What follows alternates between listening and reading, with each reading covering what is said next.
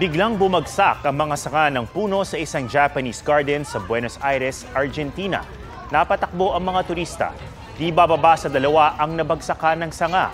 Binalikan sila ng mga nakatakbong turista at tinulungan. Hindi pa malinaw kung anong nagdulot ng pagbagsak ng mga sanga.